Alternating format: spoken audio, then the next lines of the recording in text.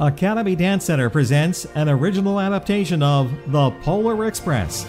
Saturday, December 1st at 7:30 p.m. and Sunday, December 2nd at 2:30 p.m. River Center for the Performing Arts in downtown Columbus.